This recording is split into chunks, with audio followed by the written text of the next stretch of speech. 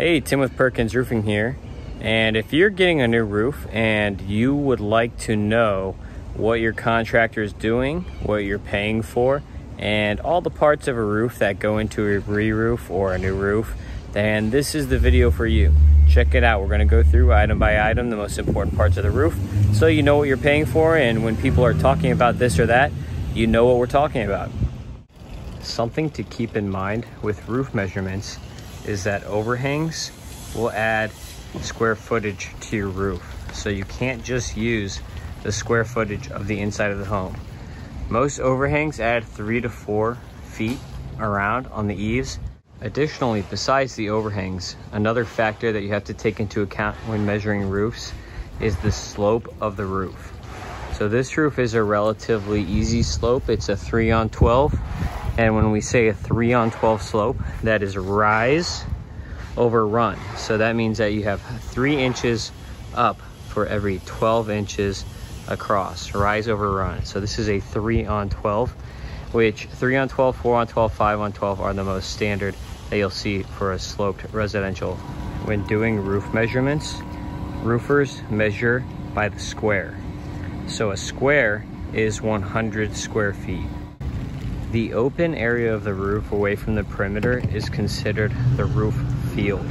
So this what we're looking at right here would be the field of the roof because it's not at a perimeter, it's not at a detail like the ridge here, which we'll get into. So the field is just the center areas of the roof.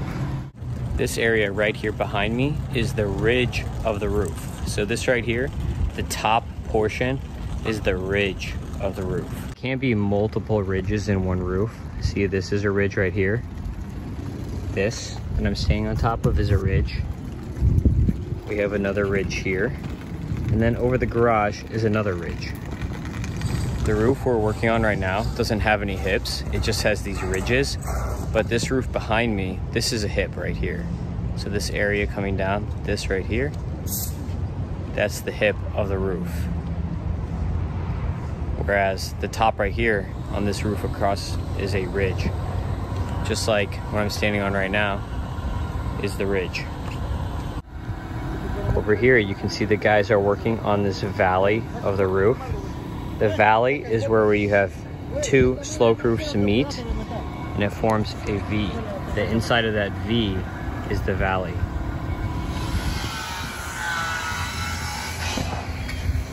This section of the roof behind me, where we have our flat roof that comes into the wall, and we have our tile roof up here, is the gable. So right here and right here is the return of the roof. Most of the time when you have a return, it's when you have a valley ending and then it ends in a return that runs off of the roof. Here, the reason we have these two returns is because we have this gable here at the center and the roof comes out this way.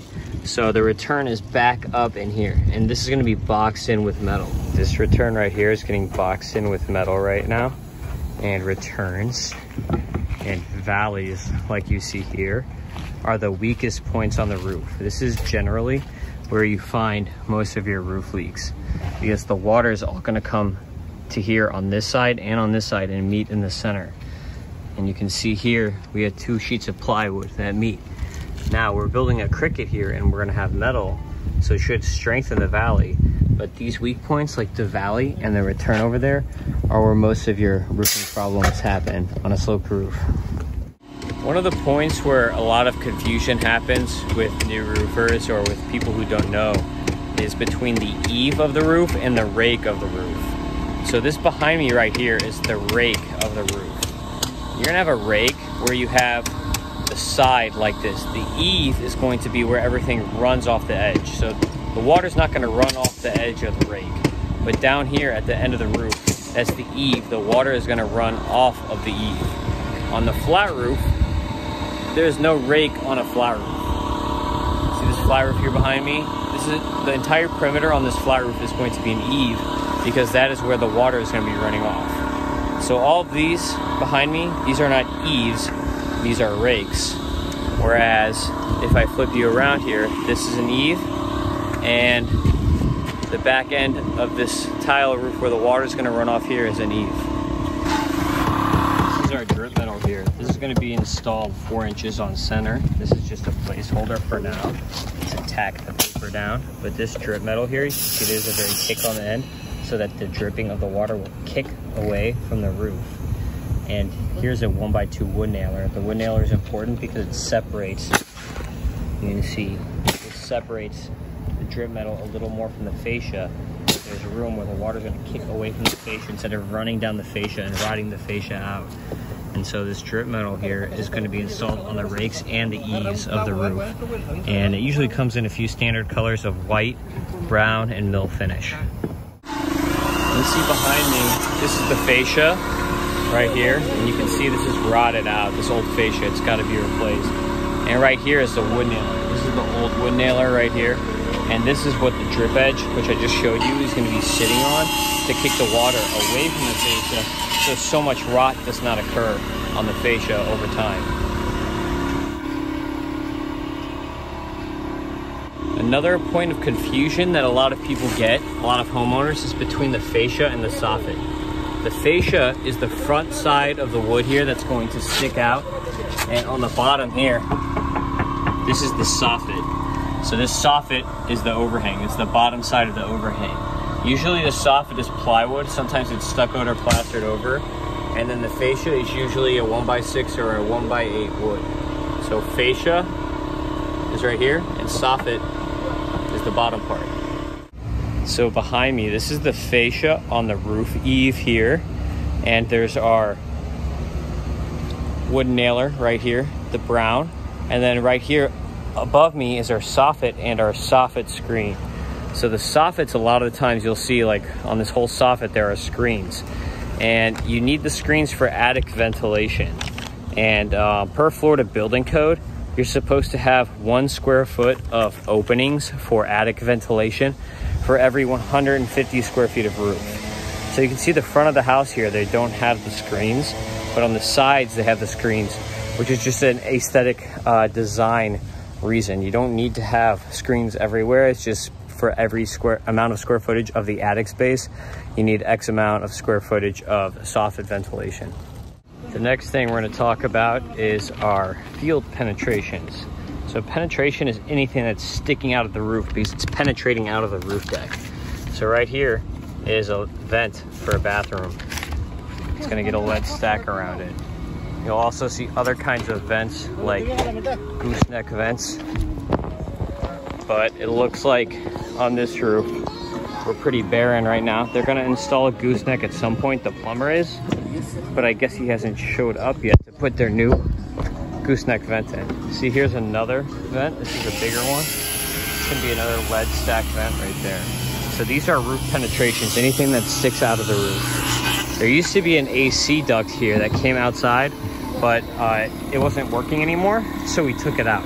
So that'd be another example of a penetration is the AC ducts sticking out outside of the roof. Another common form of a penetration in a roof that you'll see is a skylight. A lot of people like to put skylights in their roof so that they can see the sky. It lights up rooms really nice, especially bathrooms that are inside and you have no windows.